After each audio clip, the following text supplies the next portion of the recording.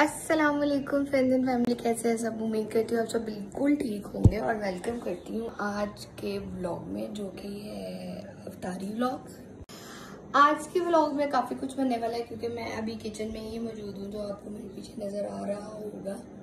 ठीक हो गया? ये तैयारी चल रही है। चलिए, यहाँ पे अब हम कीमा वगैरह में सारी अपने स्पाइसेस वगैरह ऐड कर रहे हैं। यहाँ पे मैंने ये वाला मसाला यूज़ किया चिकन मसाला और अब मैं इसमें सारा मसाला बना के, इसकी पैटी स्टाइल बना लूँगी, या कबाब स्टाइल बनाऊँगी, बना के मैं स्टोर कर दूँगी। और मसाला बहुत लिमिटेड डाला मैंने और बहुत अच्छा बनेगा। उम्मीद करती हूँ वैसे। एंड में कुछ आ गया चेंजेस अब मैं आपसे दो दिन का इकट्ठा व्लॉग शेयर करी क्योंकि वहाँ पे, बल्कि दो दिन का नहीं, ये इसी दिन का व्लॉग है। कॉल आ गई थी तो हमें अफ्तार के लिए मेरी सिस्टर इन लॉ की तरफ़ जाना पड़ गया, जो हमारे दो चार ब्लॉक दूर रहती हैं। वो, उन्होंने इफ्तारी के लिए सारी चीज़ें वगैरह बनाई थी, बहुत मज़े की थी। सब कुछ होममेड था, किसी को भी रेसिपी चाहिए, वो कमेंट कर सकता है।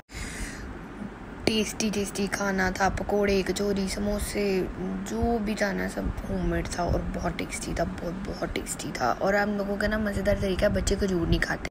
खजूर में से बीज निकाल के ना, जो चीज़ बच्चों को पसंद है लाइक जैसे हमारे बच्चों को मक्खन पसंद है देखिए हमने मक्खन की ऐड किया, फिर उसके अंदर सारा खजूर को कट लगा के। मक्खन से भर दी थी।